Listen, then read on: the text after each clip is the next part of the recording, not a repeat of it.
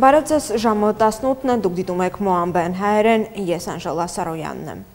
Նախորդ մեկ օրվա ընթացքում կատարված 29517 թեստավորման արդյունքում Վրաստանում արձանագրվել է կորոնավիրուսի 1023 նոր դեպք, ապաքինվել 510-ը եւ մահացել 17 վարակագիր։ Իսկ վարակման օրվա դրական ցուցանիշը կազմել է 3.47%, վերջին 7 օրվան է 2.92%, իսկ վերջին 14 օրվան է 2.81%։ Պատվաստած քաղաքացիների թիվն էլ հասել է 178738-ի։ Միայն 3 պատվաստվել է 5 5455 մարդ։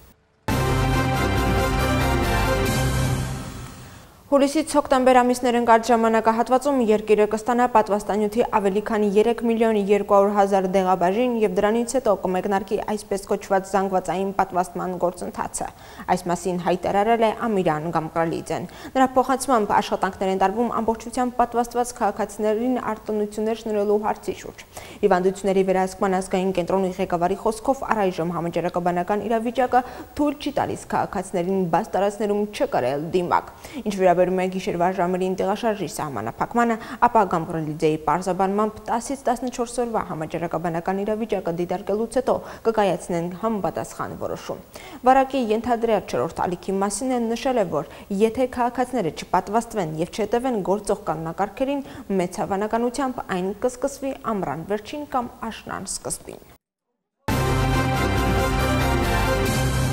Իսկ գլոբալ առումով կորոնավիրուսով պայմանավորված մահվան ետքերի եւ նոր դեպքերի թիվը նվազել է։ Առողջապահության համաշխարհային կազմակերպության գլխավոր տնօրենն այս մասին խոսել է Ժնևում կայացած ճեպազրույցի ժամանակ։ Միևնույն ժամանակ վերջինս նշել է, որ անցյալ շաբաթ կորոնավիրուսից մահացությունների թիվն ավելացել էին Աֆրիկայում, Հարավային եւ Հյուսիսային Ամերիկայում։ Առողջապահության համաշխարհային կազմակերպության գլխավոր տնօրենը երկրներին կոչի արել լինել զգոն սահմանափակումները վերացնելու հարցում, քանի որ կորոնավիրուսի տարբեր ենթատեսակների աճող տարածումը կարող է աղետալի հետևանքներ ունենալ նրանց համար, ովքեր դեռ չեն պատվաստվել։ Կազմակերպության ղեկավարը նշել է, որ պատվաստանյութերի անհավասար բաշխումը սպառնալիք է բոլոր երկրների համար։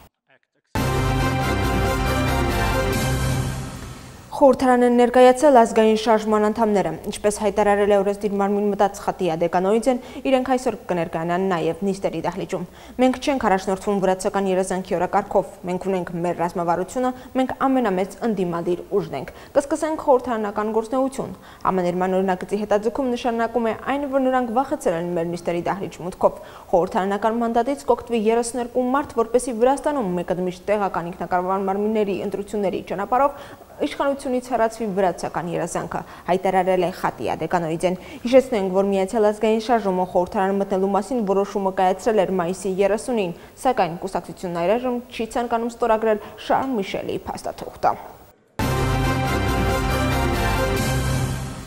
Սուրբ քաղաքական բանավեճեր խորհրդարանում ազգային շարժման օրենսդրական գործնեություն սկսելու որոշումներ այն հարցերից մեկը, որի շուրջ խոսել են պատգամավորները։ Նիստերի դահլիճում տեղի է ունեցել նաև լեզվակռիվ Գեորգի Վաշաձե եւ Անզոր Բոլքվաձեի միջև։ Նրանց միջև հակամարտության պատճառ է հանդիսացել խուլոյի ենթակառուցվածքների հարցը։ Պատգամավոր Բոլքվաձեն նիստում իր ելույթի ժամանակ խոսել է խուլո Ադիգենի ճանապարհի կառուցման մասին, որի ժամանակ էլ հայտարարել է, որ նախորդ իշխանության օրոք կանաչ լույս երբեք չի վառվել։ Բիձինա Իվանիշվիլու նամակի շուրջ քաղաքական գնահատականներ տալը շարունակվում են։ Վրացական երազանքի ղեկավարները մեկ անգամ եւս պարզաբանել են, որ տարածված լուրերն այն մասին, թե Գեորգի Գախարյայի նոր կուսակցությունը կապված է Իվանիշվիլու հետ կեղծ են։ Նրանց խոսքով Իվանիշվին խոսել է ոչ թե անձնական դավաճանության, այլ Գախարյայի թիմին միանալու հարցում ընդունած սխալ որոշման մասին։ Բրյուսելում անցկացվելիք ՆԱՏՕ-ի գագաթնաժողովին խորհրդարանն անդրադառնում է համատեղ հայտարարությամբ։ Օրենսդիր մարմինը քաղաքական ուժերի հետ համատեղ մշակել է բազմակուսակցական փաստաթուղթ։ ՆԱՏՕ-ին ինտեգրման նստատարող համատեղ հայտարարությունը բաղկացած է 9 կետից։ Փաստաթուղթն արդեն ստորագրել են իշխող թիմի եւ խորհրդարանական ընդդիմության մեծ մասը։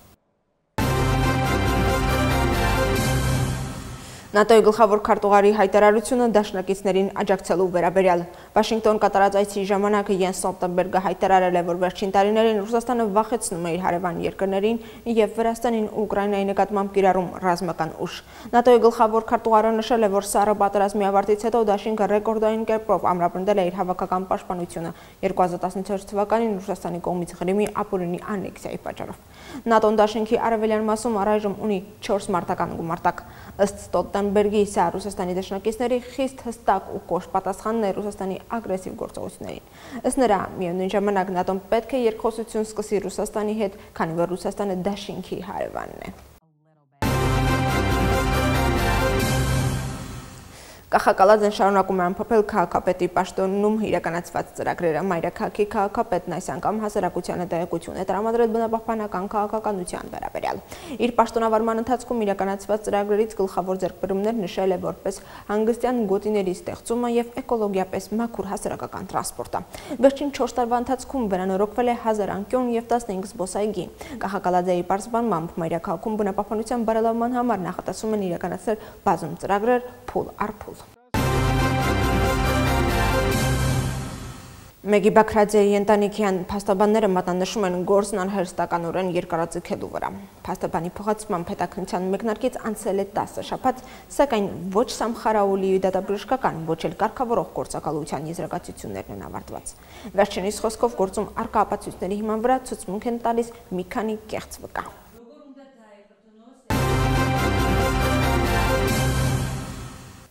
Զինծառայողների նկատմամբ անմարտկային վերաբերմունքի մեջ մեղադրվողների գործը կբաժանվի երկու մասի։ Ձերբակալվածներից մեկը պահանջել է, որ իր գործը փոխանցվի երթվյալ ատենակալներին, իսկ մյուսը դեմ է։ Այսօրվա նիստին դատավորը քննարկել է նաև խափանման միջոցը եւ մեղադրաներին թողել գալանքի տակ։ Հիշեցնենք, որ ներքին գործերի նախարարության օբյեկտների պաշտպանության երկու աշխատակից մեղադրվում են լիազորությունները չարաշահելով զինծառայողների նկատմամբ անմարտկային վերաբերմունքի մեջ։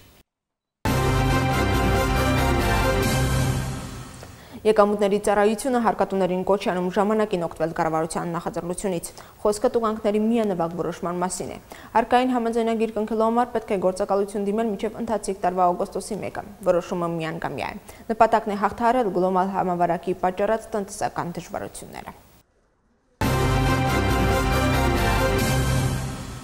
Եվ այս թարգման վերջում իրավապահ մարմինները թմրանյութերի արցանց վաճառքի արման բերման են ենթարկել 4 անձի։ Կատարված քնչական գործողությունների արդյունքում Մայրաքաղաքի տարբեր վայրերում հետագա վաճառքի համար տեղադրված թմրանյութը արգրավվել է։ Քննությամբ պարզվել է, որ մեղադրաները համակարգված կերպով վաճառել են թմրանյութեր։ Քննությունը շարունակվում է։ Ներքին գործերի նախարարությունը շարունակում է պայքարել երկում թմրանյութերի ապօրինի շրջանառության եւ տարածման դեմ։ Այժմ հիմար նախատեսել էինք այսքանը կհանդիպենք արդեն 20.00-ին գլխավոր թվարկման ժամանակ։ Մինչ այդ ժամը։